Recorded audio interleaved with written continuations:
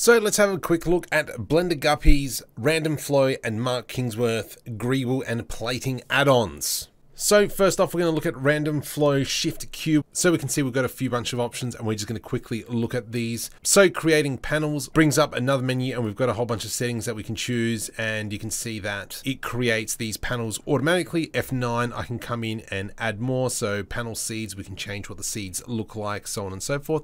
At the moment, I have, if I go into tab mode, this area selected. So that's why the panels have only been applied to that section. Another thing that we can do as well with the main body selected, uh, the greebles here are a, a different object. So let's just go back, let's do Shift Q again. I can do random axis extrude. And so if we kind of split it up a little bit, from here again, I can go Shift Q and go random loop extrude. And then here we can um, select a different sizing of panel. Let's just bring that back up, Shift 9, and I can hold Shift and add extra more details. And then from here, we can actually change how thick they're going to be, those extruded panels. Once again, plenty of random seeds everywhere. We can change how the look and feel, so on and so forth. And there's quite a bit of uh, options around that.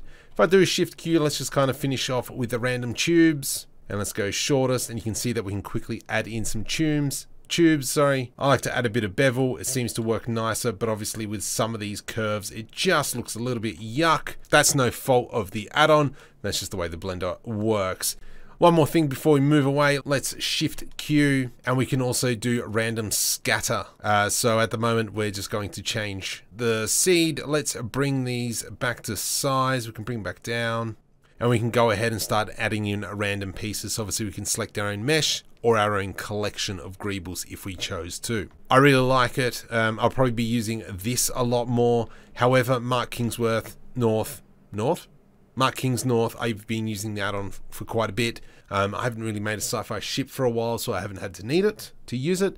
There has been really big changes to it recently. So if I go right-click, plating generator, let's go add some plates. There we go. That's how we've quickly added in some plates. Now it has kept the previous mesh and once again it's gone off what I had previously selected.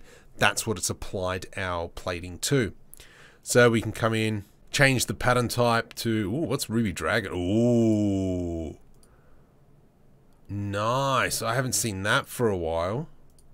I mean, I haven't seen that before. Triangles.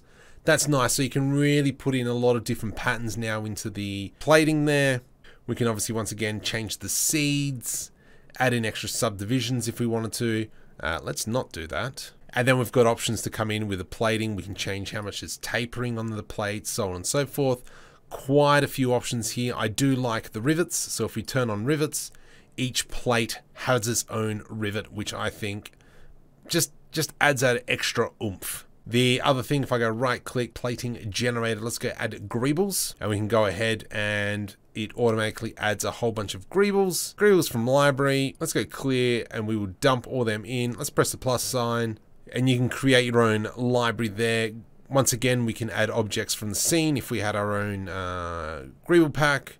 Um, there is a small greeble pack that comes with the download as well. So there we go. So as you can see, we've got two really great add-ons here for creating your greebly greeble platingness. One thing I'd love to see is if they could incorporate a material in there as well. I know Blender Guppy uh, with the random flow has his own material set that he uses and it is spicy. Uh, reversed engineered that and got some really cool stuff out of it. So once again, random flow, plating and greebles, add-on, uh, link in the description. Go have a look. And also if you're still here, jump over to my Discord, say hi, and if you haven't, subscribe. Yeah, yeah, ding dong.